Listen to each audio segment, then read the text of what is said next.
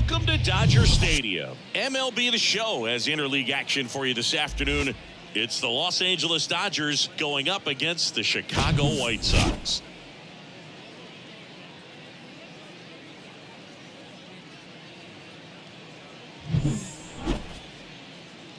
And we'll be back with the first pitch right after this.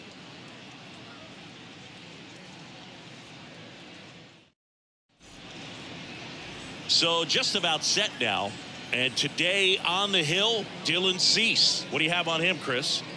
Four pitch guy. He's got some options to work with in terms of keeping hitters off balance. So we'll see how he decides to utilize those weapons through this start here right and whether or not he's able to mix them all in early or if he wants to hold something back a little bit later, maybe second, third time through the order and give them something they haven't seen. It's tough. This one swung on and hit well. Way back there. Pulls it in on the warning track. The first baseman, number five, Freddie. Freddie Freeman up to the dish.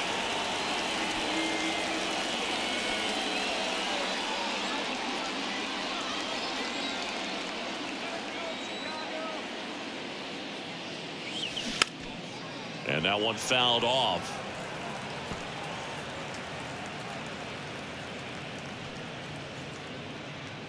No score just getting started top of the first.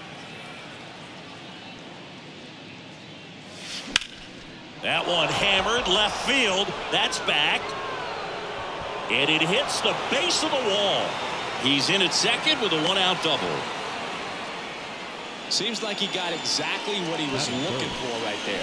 Well-deserved double on a great swing. Got everything going on time. He stayed balanced and he squared it up about as well as you could possibly ask.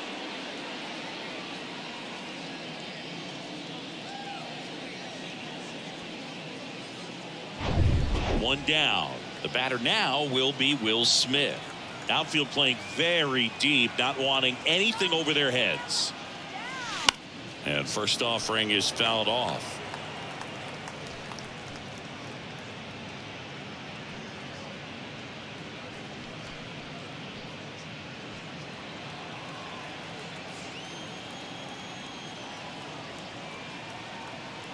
And a pitch. That one ripped.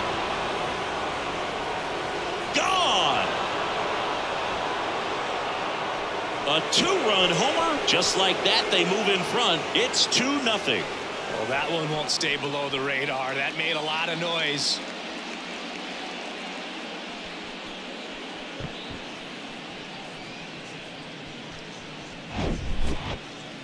Siggy, I hope you saw it because it didn't stay in the air for long. No, it didn't, Boog. StatCast telling us 110 miles per hour off the bat, and that's plenty to hit one out if you get enough air under it. As a hitter, you hardly feel the ball when you make contact as solid as he did right there. Max Muncy at the dish. Hard hit, right side. They get the out on Muncy. Fastball groove right down the middle. Usually a lot of damage done with that pitch. A hard grounder, but he wanted to get that ball in the air, maybe drive it into the gap. Two out, space is empty. JD Martinez steps to the plate for the Dodgers. On the ground to the left. In time to Vaughn. Third out. But two come across to score in the inning courtesy of this two-run homer. And it's two zip Dodgers.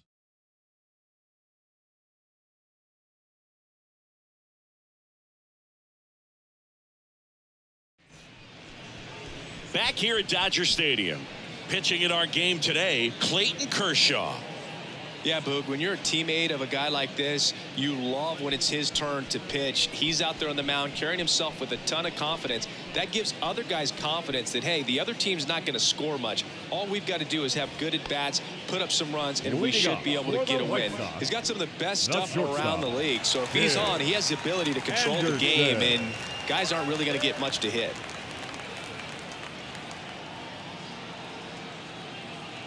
And here it comes. Tim Anderson stands in now and watches strike one.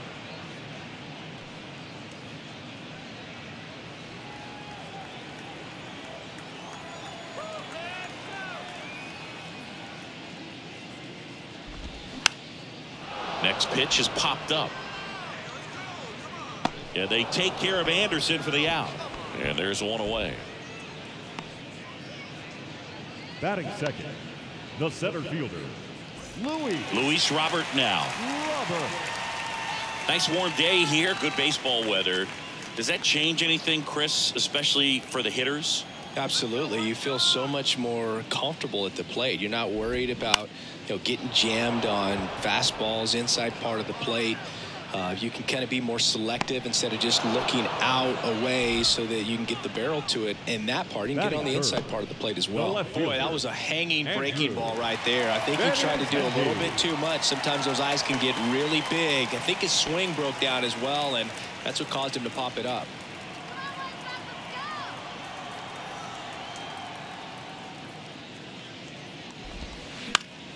And first offering is fouled off. And Boog, hitters can be a little less aggressive on hard stuff in early in the season just because of how cold it is and, and not wanting to get a stinger. Now, you think, oh, it's just a jam it's shot, it's a broken bat, but sometimes guys get deep thumb bruises that can linger for a while. So, you know, you just want to avoid that if you can, but at the end of an at bat, you're just trying to battle no matter what.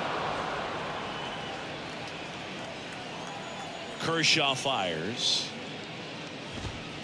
just oh. missed. The guy that I've encountered that hates the cold weather the most, Mookie Betts. I mean, he grew up in Tennessee, so it's not exactly like balmy there. I mean, it gets a little chilly in Tennessee, but under 60 degrees, he will wear two sets of batting gloves, one on top of the other, and sometimes and down on strikes he goes.